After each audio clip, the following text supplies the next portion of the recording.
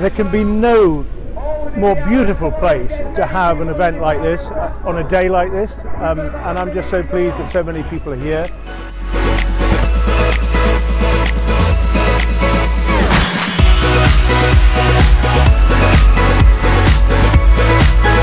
You know what? It's been fantastic. The weather's been really nice. Everybody seems to be having a good time.